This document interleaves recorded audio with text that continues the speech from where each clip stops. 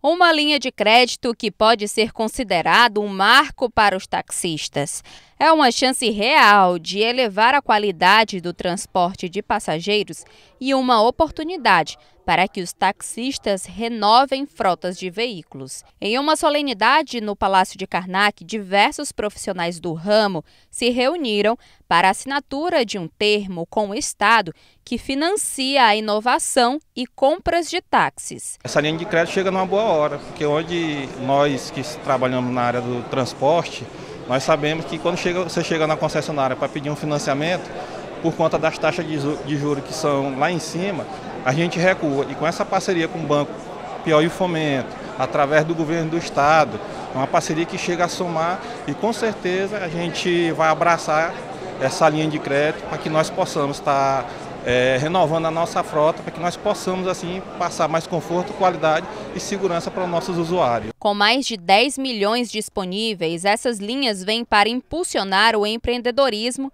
e a inovação no mercado de táxis. As duas linhas, Finep e Nova Táxi, oferecem financiamento de até 90% do valor proposto, com taxas de juros bem abaixo do mercado bancário. A linha Inova Táxi tem foco na renovação da frota de táxis no estado, financiando veículos, máquinas, equipamentos, seguro automotivo e acessórios utilizados pelos taxistas.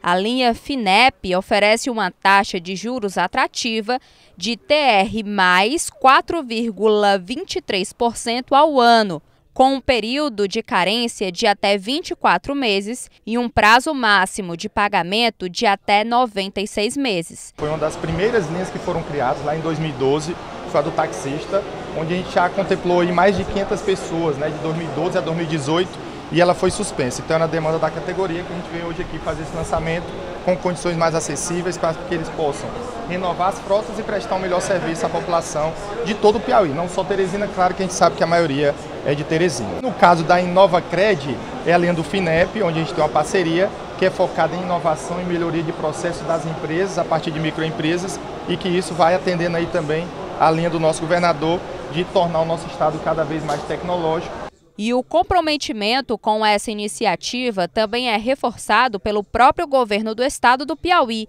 com a Piauí Fomento, que está à frente desse programa de apoio aos taxistas. O estado tem que ser indutor de desenvolvimento.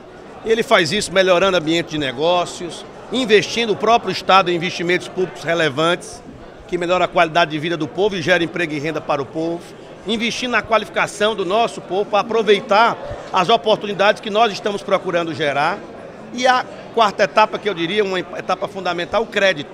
Facilitar o crédito e subsidiar o crédito para que essas empresas possam se alavancar, possam tirar os projetos da gaveta, investir mais, contratar mais e gerar um ciclo virtuoso na sua empresa e na economia. O Estado vai colocar na mão do, do desses profissionais autônomos né, de táxi, né, uma linha de crédito para que eles possam né, é, trocar o seu, o seu automóvel né, e atender melhor a população.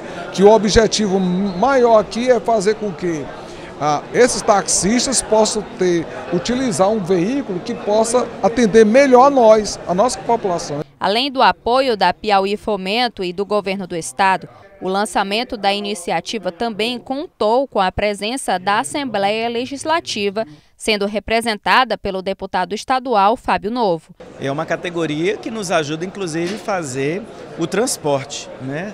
Teresina tem milhares, então acredito que quando a Piauí Fomento coloca à disposição crédito para essa categoria, nós estamos valorizando alguém que ajuda muito no transporte de Teresina. É bom dizer que o governo esse ano, além dos taxistas, também nós aprovamos uma lei para o transporte coletivo, dando isenção de PVA para cada ônibus novo que for para a frota, redução do ICMS no óleo diesel e ainda pagando é, a gratuidade do estudante do Estado que tem direito à gratuidade e o servidor público, como por exemplo a Polícia Militar.